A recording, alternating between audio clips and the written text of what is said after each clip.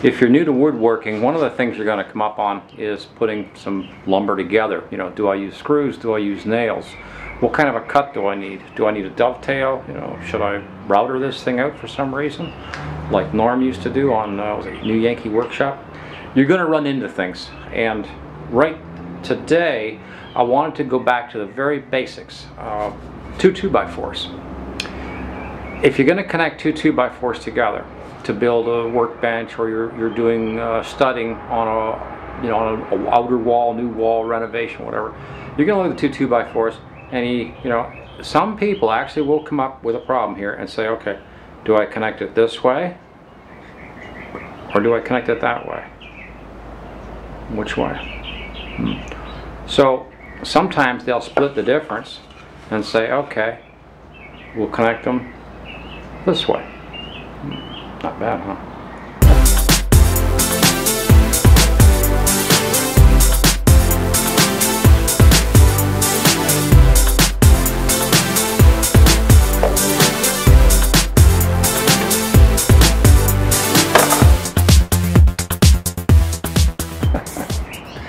well, what happens is you have to look at your load.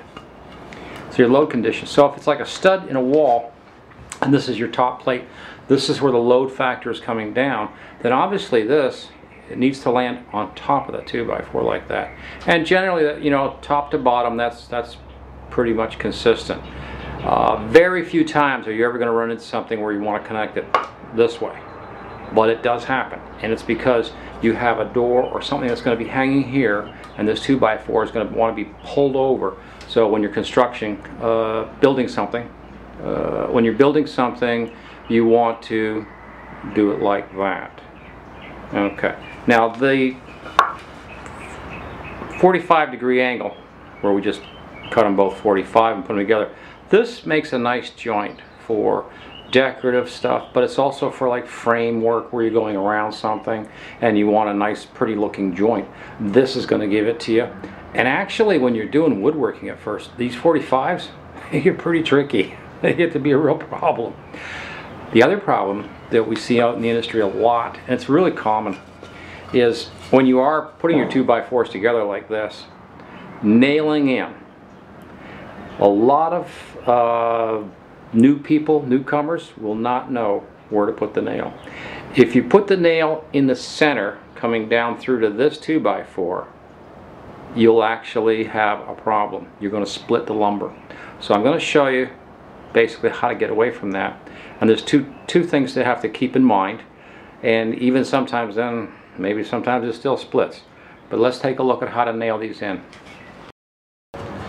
Okay, basically we're nailing this 2x4 on top of this 2x4 and we want to drive it in.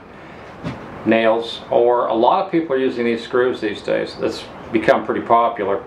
Uh, the first simplest trick would be right about there. Now if you can't see that, we're going to do the 3D thing or something here. What's the 3D thing? Well, that's where I, uh, I come a little bit closer. Okay, and okay, now maybe you can, uh, that'll be even better to see it. But say there's the, there's the screw or the nail going down through what I said is the center. And there's going to be at least two, but you should have three if you can. But two is fine for some general construction or general framing work. If you're building something. If you're expecting some kind of unusual loads, then three is actually a lot better. But the first thing you want to do is you don't want to do it like that. Really, yeah. So if you have to do uh, at first, a lot of people get an eye for it. But what you do is look at this inner edge right, let's see if we can see that, right about there. And we're going to look back here and trace that line up to the top of this piece of 2x4 here. If we start in line with that back here, we're away from the end of it, and put on a slight angle, we can drive that in now, and the chances are we should not split the 2x4. So that's pretty cool, to just to know that. And it, like I said, it's today we're basics. So we're looking at something very basic here, just putting this in and nailing a couple 2x4s together. How basic can that be? It's pretty basic. But which so with the angle like this, you're driving this back into here. You're not going to come out this side unless you do something really uh, wild with the angle. But you sort of look down through it and you say, okay, I'm looking down through the screw here, and I can see the screw is driving towards the center of this uh, 2x4 here. And so what I'm looking for is to try to get that angle and just a little bit angle. It's not going to show up on the inside, on, on this inside part of the joint. It's going to stay within this 2x4, but it's going to go down through and go into that tight grain, and it's going to grab good, and you're going to get a good strong hold. Now, if your lumber is really dried out for some reason, or recycled lumber, that kind of thing, and you want to try to avoid the cracking, the other thing you can do is, with a screw like this, you're going to want to drill something. Now, when you pre-drill, it becomes a little bit of a problem. You don't want to pre-drill the whole thing out. You want strength in your work. So when you pre-drill, try to pre-drill only the top or what I'm calling the upper plate or this top piece of 2x4. You want to drill that out, but you want to leave this alone. So when you're drilling out, as soon as you feel the, two, the uh, drill dropping through this, you stop and say, okay, I've got my hole. The reason you drill a little hole, and it's a small hole, is this again will stop the cracking if that's what's happening. Uh, if you nail out towards the end here, then by God, yes, it will crack and it will split and you don't have a good joint. In fact, you don't have a safe joint and you don't have a strong connection at that point. So just connecting two 2x4s together, how hard can that be? Well, there's a right way and a wrong way and there's a lot of things that can go wrong. So generally, again, you want to come in about a half to almost three quarters of an inch in from the end. The reason for that is you're looking for some meat for this guy to, you know, grab onto that's going to pull that down nice and tight. Uh, the screw thing has really taken off. Uh, the last time I was at a lumber store, I wanted to buy some nails, and all they had was screws uh, that were decent. So yeah, I ended up, you know what, screws are good. There's a couple of reasons for using screws too. Uh, I've asked around, and a lot of people like it because if they decide to change the renovation later on down the road, a lot of times you can use a uh, simple impact type gun, and you can get these screws back out, reuse the lumber, put it back together or make a small change or a repair or modification. Because another thing that happens is a lot of guys when they're pulling these down they'll actually end up pulling this over a little bit. Now you shouldn't do that and it shouldn't happen but it does. And if you have a, again if you have the hole drilled it lessens the chance of that happening. So here I'm going to show you the screw on the side and effectively this is about what you're looking for is something about like that right there for finish.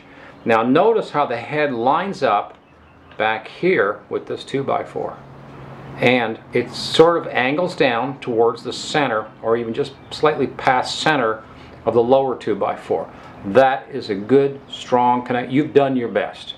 If it doesn't work after that it wasn't your fault. Something went wrong with the material. It was a bad tree. Who knew? But that's the best possible connection you're going to get with two 2x4s just nailing together. Next question Okay, and this is some thought. If you're using 2x4s like this and you want to connect them, you want lots of depth. Uh, so this is a three and a half inch screw and that in a nail or a screw is what you want. You want to go deep down into this guy and get onto him really nice and tight and pull that 2x4 together. That's going to give you your strength. So what you, you know, again, you have to select the right size of nail or screw for the job. And there's a couple different things about that. If you're coming across, say, a top like this, and you want to connect this to this, do you think it would be longer, shorter, use the same type thing? Actually, this, the answer here uh, in the recommended part of this industry is again stay with the three and a half. You want to get as much depth into here as you can to get as much strength. Now, in a different scenario, you might not. Now, that scenario would be this right here. But uh, this week from Coffee and Tools, got some exciting things coming up and hopefully we're going to uh, do some really cool work. I see some lighting issues I got today. That There's too much light. And the reason is the sun is shining full blast on the floor of my shop at the front doors and it's blasting its way in. And so that's all that, you know, ground lighting coming up at me. Kind of cool. Uh, so now, because it's 3D this week, we're now going to do the 3D effect and back away. Oh, wow. Anyway, that was cool. Thanks everybody for watching Coffee and Tools. Try to see you next week.